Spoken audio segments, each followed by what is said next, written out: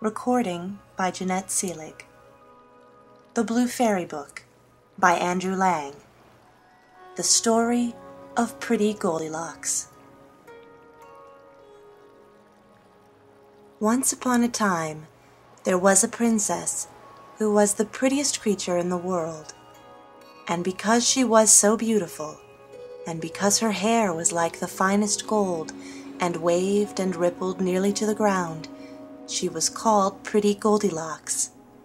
She always wore a crown of flowers, and her dresses were embroidered with diamonds and pearls, and everybody who saw her fell in love with her. Now one of her neighbors was a young king who was not married. He was very rich and handsome, and when he had heard all that was said about Pretty Goldilocks, though he had never seen her, he fell so deeply in love with her that he could neither eat nor drink. So he resolved to send an ambassador to ask her in marriage. He had a splendid carriage made for his ambassador, and gave him more than a hundred horses and a hundred servants, and told him to be sure and bring the princess back with him. After he had started, nothing else was talked of at court, and the king felt so sure that the princess would consent that he set his people to work at pretty dresses and splendid furniture, that they might be ready by the time she came. Meanwhile, the ambassador arrived at the princess's palace and delivered his little message, but whether she happened to be cross that day, or whether the compliment did not please her, is not known. She only answered that she was very much obliged to the king but she had no wish to be married. The ambassador set off sadly on his homeward way, bringing all the king's presents back with him, for the princess was too well brought up to accept the pearls and diamonds when she would not accept the king. So she had only kept twenty-five English pins, that he might not be vexed. When the ambassador reached the city where the king was waiting impatiently, everybody was very much annoyed with him for not bringing the princess, and the king cried like a baby, and nobody could console him. Now there was at the court a young man who was more clever and handsome than anyone else. He was called Charming, and everyone loved him, excepting a few envious people who were angry at his being the king's favorite and knowing all the state secrets. He happened to one day be with some people who were speaking of the ambassador's return, and saying that his going to the princess had not done much good, when Charming said rashly, If the king had sent me to the Princess Goldilocks, I am sure she would have come back with me. His enemies at once went to the king and said, You will hardly believe, sire, what Charming has the audacity to say, that if he had been sent to the Princess Goldilocks she would certainly have come back with him. He seems to think that he is so much handsomer than you, that the princess would have fallen in love with him and followed him willingly. The king was very angry when he heard this. Ha ha! said he. Does he laugh at my unhappiness and think himself more fascinating than I am? Go and let him be shut up in my great tower to die of hunger. So the king's guards went to fetch Charming, who had thought no more of his rash speech, and carried him off to prison with great cruelty. The poor prisoner had only a little straw for his bed, and but for a little stream of water which flowed through the tower, he would have died of thirst. One day when he was in despair, he said to himself, How can I have offended the king? I am his most faithful subject, and have done nothing against him. The king chanced to be passing the tower, and recognized the voice of his former favorite.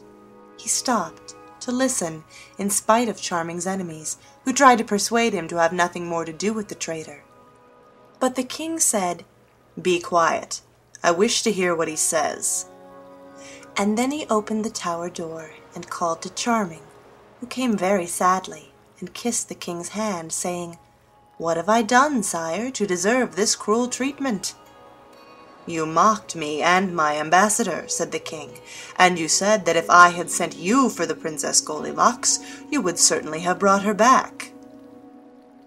It is quite true, sire, replied Charming. I should have drawn such a picture of you and represented your good qualities in such a way that I am certain the princess would have found you irresistible. But I cannot see what there is in that to make you angry.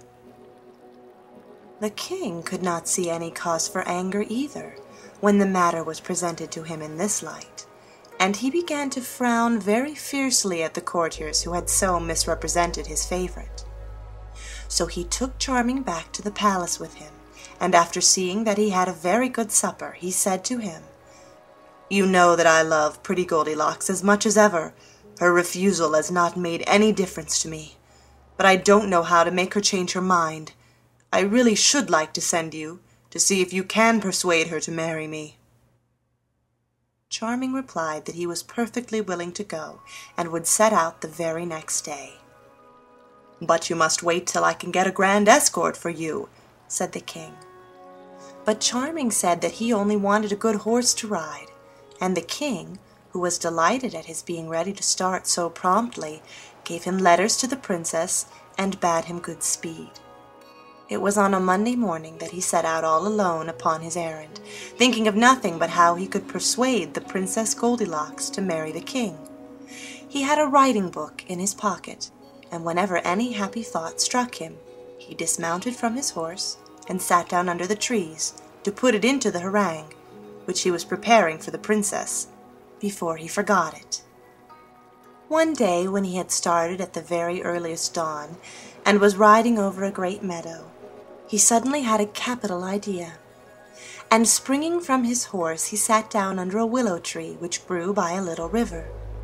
When he had written it down, he was looking round him, pleased to find himself in such a pretty place, when all at once he saw a great golden carp lying gasping and exhausted upon the grass. In leaping after little flies, she had thrown herself high upon the bank, where she had lain till she was nearly dead. Charming had pity upon her, and though he couldn't help thinking that she would have been very nice for dinner, he picked her up gently and put her back into the water. As soon as Dame Carp felt the refreshing coolness of the water, she sank down joyfully to the bottom of the river. Then, swimming up to the bank quite boldly, she said, I thank you, Charming, for the kindness you have done me. You have saved my life. One day I will repay you. So saying, she sank down into the water again, leaving Charming greatly astonished at her politeness. Another day, as he journeyed on, he saw a raven in great distress. The poor bird was closely pursued by an eagle, which would have soon eaten it up, had not Charming quickly fitted an arrow to his bow and shot the eagle dead. The raven perched upon a tree very joyfully. Charming, said he, it was very generous of you to rescue a poor raven. I am not ungrateful. Some day I will repay you. Charming thought it was very nice of the raven to say so, and went on his way. Before the sun rose, he found himself in a thick wood, where it was too dark for him to see his path, and here he heard an owl crying as if it were in despair. Hark, said he, that must be an owl in great trouble. I am sure it has gone into a snare. And he began to hunt about, and presently found a great net which some bird catchers had spread the night before. What a pity it is that men do nothing but torment and persecute poor creatures which never do them any harm, said he, and he took out his knife and cut the cords of the net, and the owl flitted away into the darkness, but then turning, with one flicker of her wings, she came back to Charming and said, It does not need many words to tell you how great a service you have done me. I was caught. In a few minutes the fowlers would have been here. Without your help, I should have been killed. I am grateful, and one day I will repay you. These three adventures were the only ones of any consequence that befell Charming upon his journey, and he made all the haste he could to reach the palace of the Princess Goldilocks. When he arrived, he thought everything he saw delightful and magnificent. Diamonds were as plentiful as pebbles, and the gold and silver, the beautiful dresses, the sweetmeats and pretty things that were everywhere quite amazed him. He thought to himself, If the princess consents to leave all this and come with me to marry the king, he may think himself lucky. Then he dressed himself carefully in rich brocade, with scarlet and white plumes, and threw a splendid embroidered scarf over his shoulder, and looking as gay and as graceful as possible, he presented himself at the door of the palace, carrying in his arm a tiny pretty dog, which he had bought on the way. The guards saluted him respectfully, and a messenger was sent to the princess to announce the arrival of Charming as ambassador of her neighbor the king. Charming, said the princess. The name promises well. I have no doubt that he is good looking and fascinates everybody. Indeed he does, madam, said all her maids of honor in one breath. We saw him from the window of the garret where we were spinning flax, and we could do nothing but look at him as long as he was in sight. Well, to be sure, said the princess, that's how you amuse yourselves, is it? Looking at strangers out of the window? Be quick, and give me my blue satin embroidered dress, and comb out my golden hair. Let somebody make me fresh garlands of flowers, and give me my high heeled shoes and my fan, and tell them to sweep my great hall and my throne, for I want everyone to say I am really pretty Goldilocks. You can imagine how all her maids scurried this way and that to make the princess ready, and how in their haste they knocked their heads together and hindered each other till she thought they would never have done. However, at last they led her into the gallery of mirrors, that she might assure herself that nothing was lacking in her appearance and then she mounted her throne of gold, ebony, and ivory, while her ladies took their guitars and began to sing softly. Then Charming was led in, and was so struck with astonishment and admiration that at first not a word could he say. But presently he took courage and delivered his harangue, bravely ending by begging the princess to spare him the disappointment of going back without her. Sir Charming, answered she, all the reasons you have given me are very good ones, and I assure you that I should have more pleasure in obliging you than anyone else. But you must know that a month ago, as I was walking by the river with my ladies, I took off my glove, and as I did so a ring that I was wearing slipped off my finger and rolled into the water. As I valued it more than my kingdom, you may imagine how vexed I was at losing it, and I vowed never listen to any proposal of marriage unless the ambassador first brought me back my ring. So now you know what is expected of you, for if you talked for fifteen days and fifteen nights, you could not make me change my mind.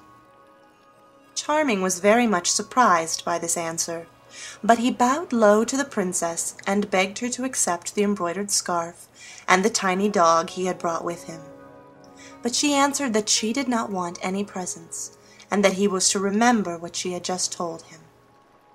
When he got back to his lodging he went to bed without eating any supper, and his little dog, who was called Frisk, couldn't eat any either, but came and lay down close to him. All night Charming sighed and lamented. How am I to find a ring that fell into the river a month ago? said he. It is useless to try. The princess must have told me to do it on purpose, knowing it was impossible. And then he sighed again. Frisk heard him and said, My dear master, don't despair. The luck may change. You are too good not to be happy. Let us go down to the river as soon as it is light. But Charming only gave him two little pats and said nothing, and very soon he fell asleep. At the first glimmer of dawn Frisk began to jump about, and when he had waked Charming they went out together, first into the garden, and then down to the river's brink, where they wandered up and down. Charming was thinking sadly of having to go back unsuccessful, when he heard someone calling, Charming! Charming! He looked all about him, and thought he must be dreaming, as he could not see anybody. Then he walked on, and the voice called again, Charming! Charming! Who calls me? said he.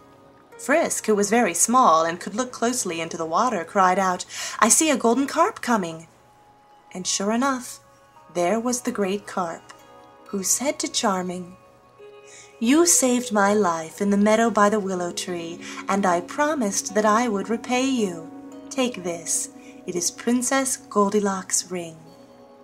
Charming took the ring out of Dame Carp's mouth, thanking her a thousand times, and he and Tiny Frisk went straight to the palace, where someone told the princess that he was asking to see her. Ah, poor fellow, said she.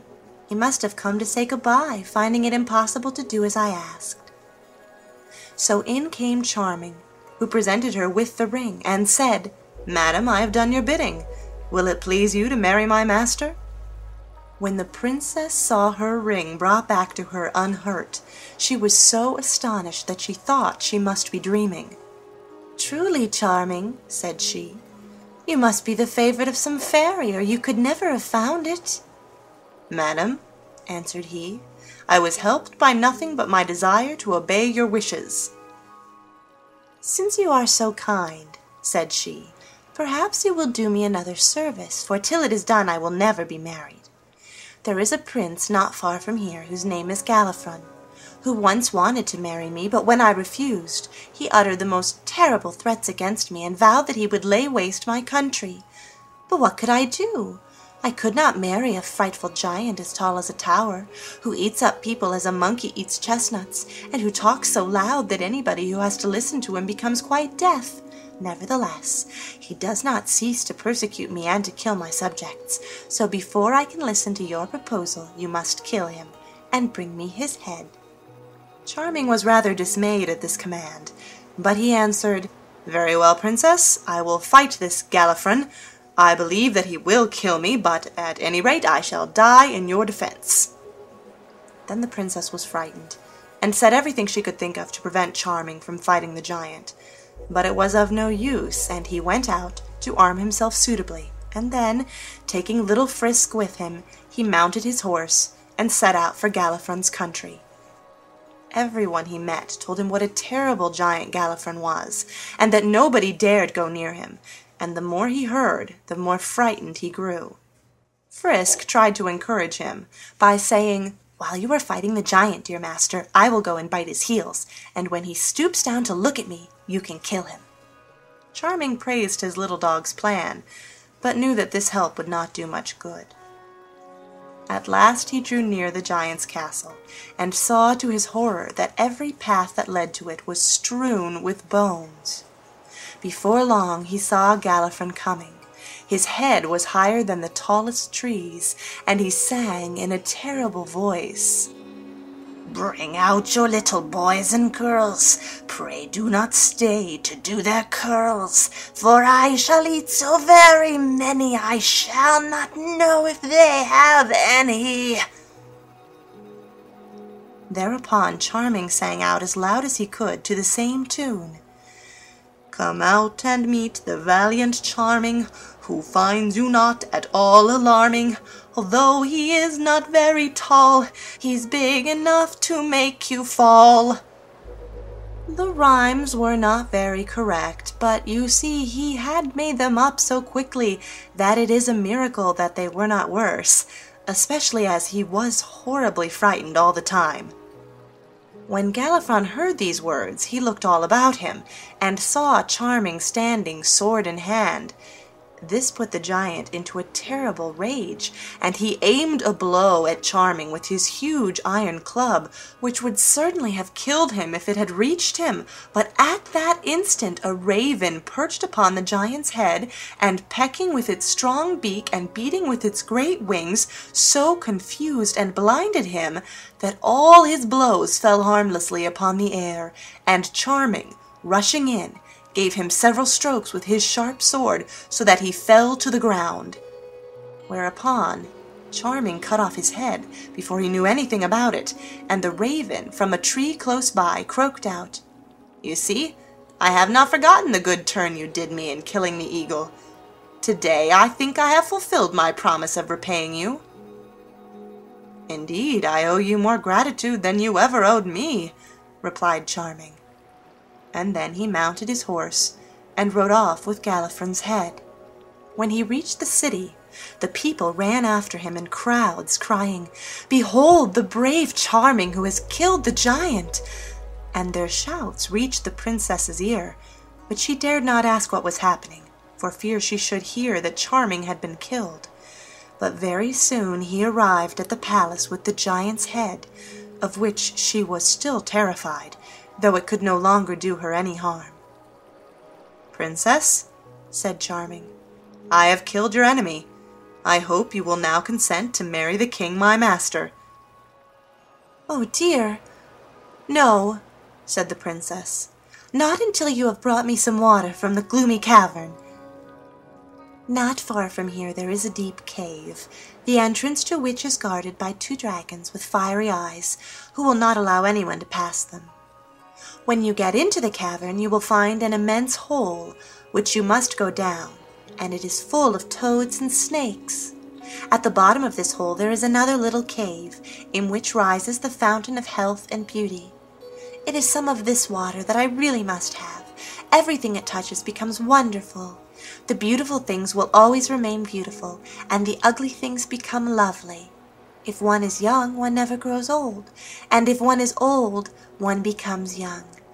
You see, Charming, I could not leave my kingdom without taking some of it with me. Princess, said he, you at least can never need this water. But I am an unhappy ambassador whose death you desire. Where you send me I will go, though I know I shall never return and as the Princess Goldilocks showed no sign of relenting, he started with his little dog for the gloomy cavern. Everyone he met on the way said, What a pity that a handsome young man should throw away his life so carelessly. He is going to the cavern alone, although if he had a hundred men with him he could not succeed. Why does the princess ask impossibilities? Charming said nothing, but he was very sad. When he was near the top of a hill he dismounted to let his horse graze, while Frisk amused himself by chasing flies. Charming knew he could not be far from the gloomy cavern, and on looking about him he saw a black, hideous rock, from which came a thick smoke, followed in a moment by one of the dragons with fire blazing from his mouth and eyes. His body was yellow and green, and his claws scarlet, and his tail was so long that it lay in a hundred coils. Frisk was so terrified at the sight of it that he did not know where to hide. Charming, quite determined to get the water or die, now drew his sword, and taking the crystal flask which pretty Goldilocks had given him to fill, said to Frisk, I feel sure that I shall never come back from this expedition. When I am dead, Go to the princess and tell her that her errand has cost me my life. Then find the king my master, and relate all my adventures to him. As he spoke, he heard a voice calling, Charming, Charming. Who calls me? said he. Then he saw an owl sitting in a hollow tree, who said to him, You saved my life when I was caught in the net. Now I can repay you. Trust me with the flask, for I know all the ways of the gloomy cavern, and can fill it from the fountain of beauty. Charming was only too glad to give her the flask, and she flitted into the cavern quite unnoticed by the dragon, and after some time returned with the flask, filled to the very brim with sparkling water. Charming thanked her with all his heart, and joyfully hastened back to the town. He went straight to the palace and gave the flask to the princess, who had no further objection to make. So she thanked Charming, and ordered that preparations should be made for her departure, and they soon set out together. The princess found Charming such an agreeable companion that she sometimes said to him, Why didn't we stay where we were? I could have made you king, and we should have been so happy. But Charming only answered, I could not have done anything that would have vexed my master so much, even for a kingdom, or to please you, though I think you are as beautiful as the sun. At last they reached the king's great city, and he came out to meet the princess, bringing magnificent presents, and the marriage was celebrated with great rejoicings.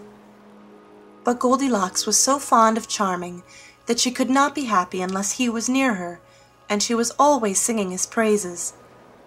If it hadn't been for Charming, she said to the king, I should never have come here. You ought to be very much obliged to him, for he did the most impossible things and got me water from the Fountain of Beauty, so I can never grow old and shall get prettier every year. Then Charming's enemies said to the king, It is a wonder that you are not jealous. The queen thinks there is nobody in the world like Charming, as if anybody you had sent could not have done just as much. It is quite true, now I come to think of it, said the king. Let him be chained hand and foot and thrown into the tower. So they took Charming, and as a reward for having served the king so faithfully, he was shut up in the tower, where he saw only the jailer, who brought him a piece of black bread and a pitcher of water every day. However, little Frisk came to console him, and told him all the news. When pretty Goldilocks heard what had happened, she threw herself at the king's feet, and begged him to set Charming free. But the more she cried, the more angry he was, and at last she saw that it was useless to say any more. But it made her very sad.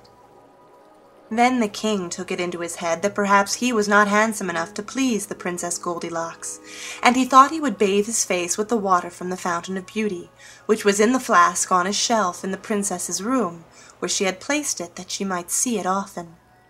Now it happened that one of the princess's ladies in chasing a spider had knocked the flask off the shelf and broken it, and every drop of the water had been spilt. Not knowing what to do, she had hastily swept away the pieces of crystal, and then remembered that in the king's room she had seen a flask of exactly the same shape, also filled with sparkling water. So without saying a word, she fetched it and stood it upon the queen's shelf. Now the water in this flask was what was used in the kingdom for getting rid of troublesome people. Instead of having their heads cut off in the usual way, their faces were bathed with the water and they instantly fell asleep and never woke up any more. So when the king, thinking to improve his beauty, took the flask and sprinkled the water upon his face, he fell asleep and nobody could wake him. Little Frisk was the first to hear the news, and he ran to tell Charming, who sent him to beg the princess not to forget the poor prisoner.